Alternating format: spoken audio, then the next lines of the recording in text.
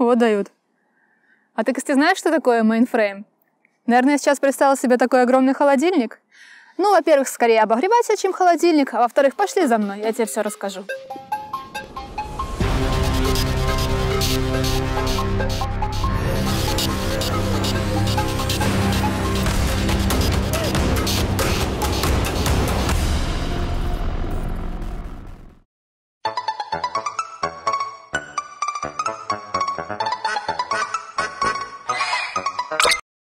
Мунфреймы бывают разные. Если мы посмотрим на модельный ряд крупнейшего производителя IBM, то легко выделить новейшие Z14 с однофреймовой и двухфреймовой компоновкой, а также их Linux-версии Emperor 2 и Rockhopper 2. Кстати, знаешь почему именно Z? Zero Downtime. Доступность 5 девяток с максимальным даунтаймом в 26 секунд в месяц.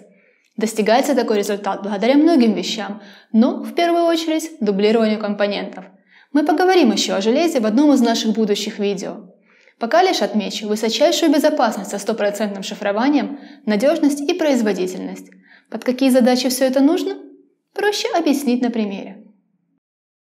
Итак, представь, что это касса в супермаркете.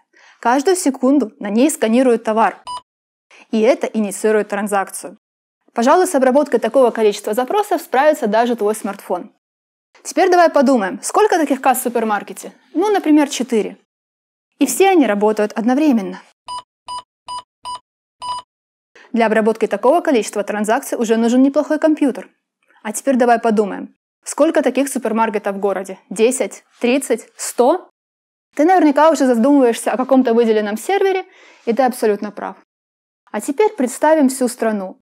Впрочем, чего мелочиться? Давай представим какую-то крупную сеть супермаркетов, которая обслуживает весь мир. И вот для обработки такого количества запросов уже необходим мейнфрейм.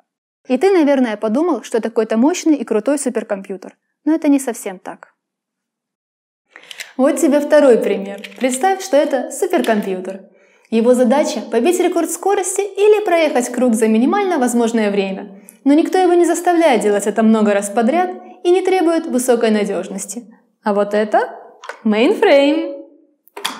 Возможно, он имеет ту же мощность, но задачи у него совсем другие. Ему главное – надежно и безопасно перевозить большое количество мелких грузов каждый день. Они могут быть не сильно заметны, но тысячи таких машин ежедневно делают свою работу. Вот тебе несколько фактов. Mainframe используют 78 банков из мирового топ-100, 16 из топ-25 ритейлеров США, 17 из мирового топ-25 страховых компаний, 7 из топ-10 телекоммуникационных компаний, 15 компаний из первых 20 в списке Fortune. Вот такой вот список. Изучать мейнфреймы можно долго, но я предлагаю сделать это весело. Я начну с истории их появления уже на следующей неделе. Ставь лайк, подписывайся на канал и пиши, что об этом думаешь в комментариях. Что значит одеться нормально?